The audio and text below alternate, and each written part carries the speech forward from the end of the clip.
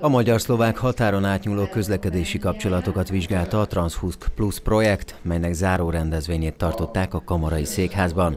A projekt vezető partnere a Közlekedéstudományi Intézet volt, de jelentős szerepet vállalt a Nyugat-Pannon Nonprofit Kft. és egy pozsonyi területfejlesztési intézet is.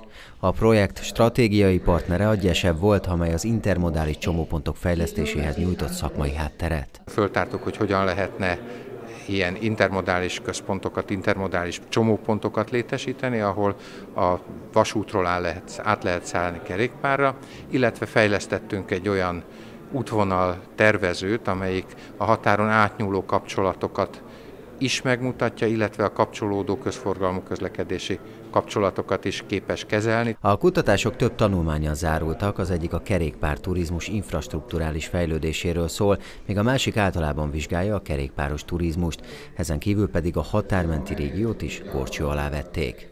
V rámci tej tzv. cyklostúdie Készült egy tanulmány, amely a határmenti régiót jellemezte, egy másik pedig azt vizsgálta, hogy miként lehetne bővíteni a magyar vasútvonalakat, úgy, hogy azok a határon átnyúlva is segítsék a közlekedést, ezekkel pedig a kerékpáros útvonalakat is össze kellene kapcsolni a hatékonyság növelése érdekében. A következő években a bicikli útvonalak kialakításában is jelentős fejlesztések valósulnak meg a határ mentén. 2020-ig a, a Dunamenti kerékpárút az ö, ö, fel lesz teljesen újítva három ütemben.